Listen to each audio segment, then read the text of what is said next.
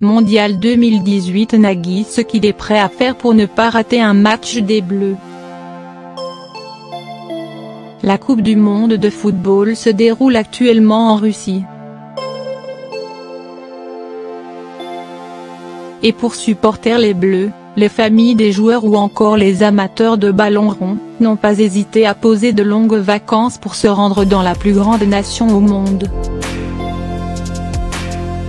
D'autres fans de football ne pouvant prendre plusieurs jours de congé, ils n'ont pas manqué de réserver leurs allers-retours entre Paris et Moscou pour applaudir avec ferveur l'équipe de France. C'est le cas de Nagui.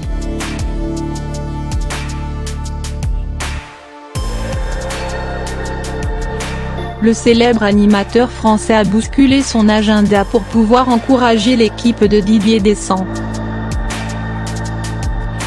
Malgré ce rythme de dingue, l'animateur s'est débrouillé pour assister au premier match des Bleus contre l'Australie, sur place, à Kazan confie un proche à nos confrères du Parisien, le foot, c'est sa deuxième vie après sa famille. Et ce jeudi 21 juin, Nagui a décidé d'organiser un nouvel aller-retour en direction de la Russie.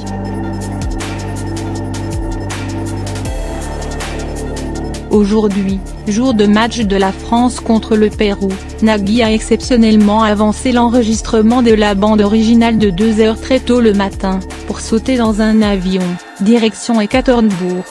Et l'animateur, très proche de Didier Deschamps, ne manquera pas non plus le troisième match des Bleus d'ores et déjà organisé pour être en tribune le 26 juin prochain afin de soutenir l'équipe de France face au Danemark.